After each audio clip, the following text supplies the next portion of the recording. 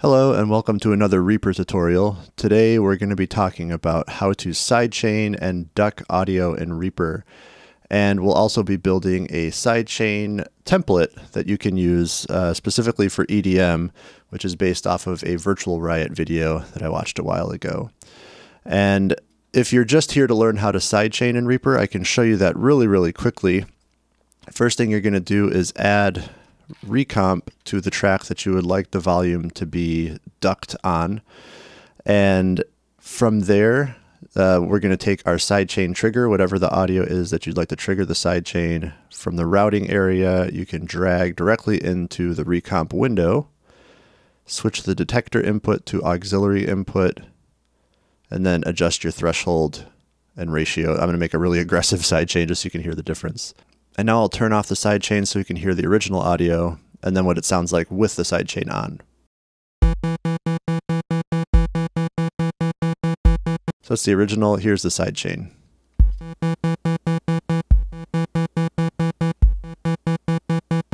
From there, you can tweak ReaComp however you'd like it, and this will work with any plugin with four inputs, the dragging the routing into the plugins. So you can use this for a lot of different applications, but specifically for sidechaining, that's the quickest and easiest way to do it in Reaper.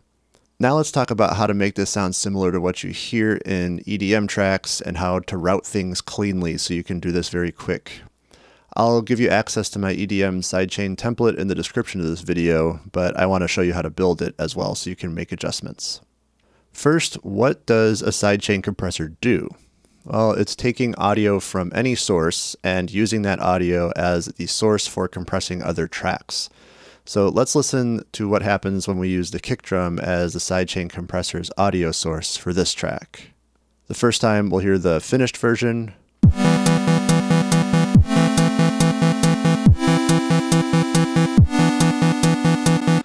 Now let's hear it with no sidechain compression.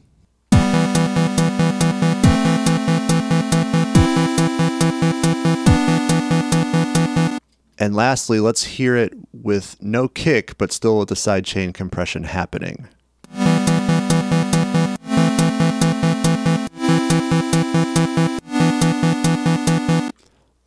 So that's what a really heavy sidechain compressor sounds like. Here I have a tutorial session that shows how I route things, but let's go track by track. So at the top of my session, tracks one through four, this is where I would write things or add audio.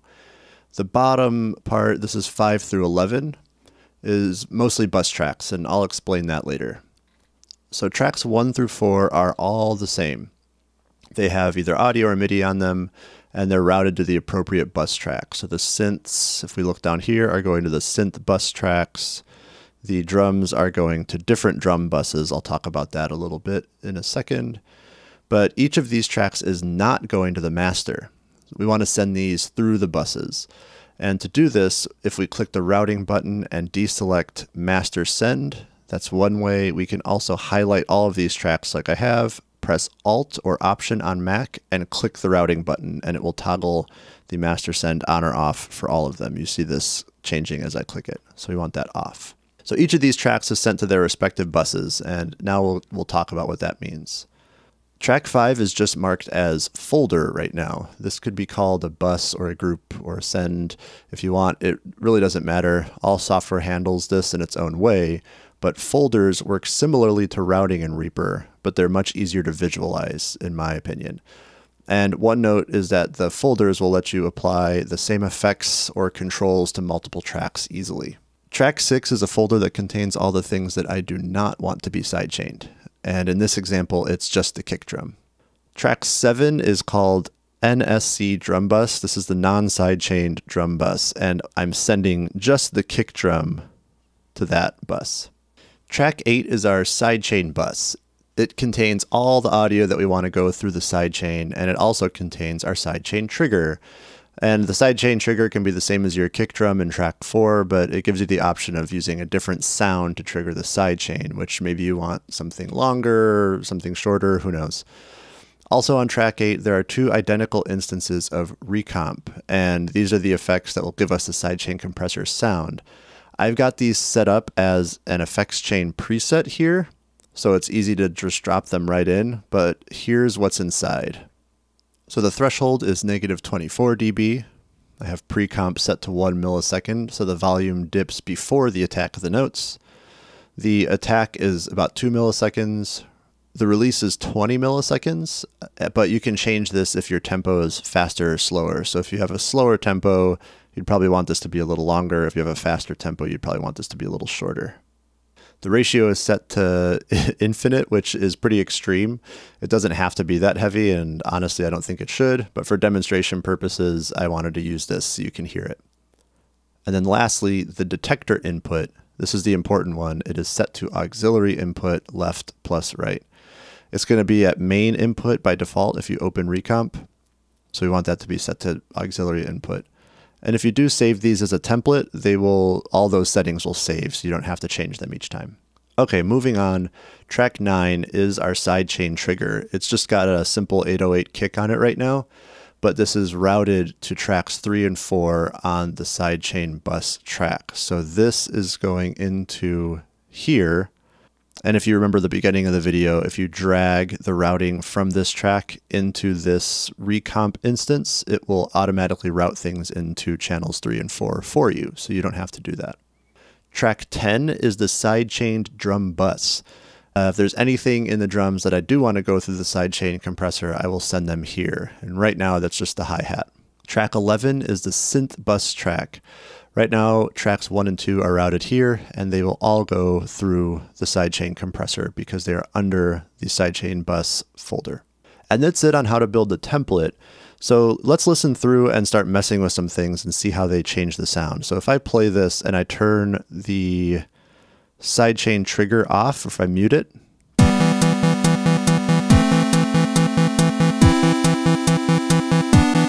Now the sidechain bus is not receiving any sidechain trigger there at all. So it's not doing anything. It's not going to sidechain. If I turn this on, the sidechain's working. If I move these triggers to a different beat,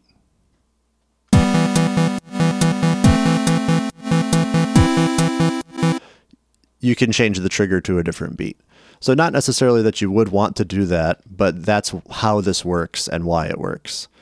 I also wanted to note that the only reason that the sidechain trigger triggers the sidechain at all is because it's routed into ReaComp uh, in channels 3 and 4. So that's why the drum bus and synth bus below it don't trigger the sidechain in the same way. Similarly, if you put the kick on different beats, the kick's not actually impacting anything up here. It's all about this sidechain trigger. So this can be anything you want. Now I'll share this template with you, but I think it's really important to know how routing and all of this stuff works in Reaper and why people might set things up in this way. This gives you a lot of control over what your sidechain trigger is, and it separates that out from the actual music that's being written up here.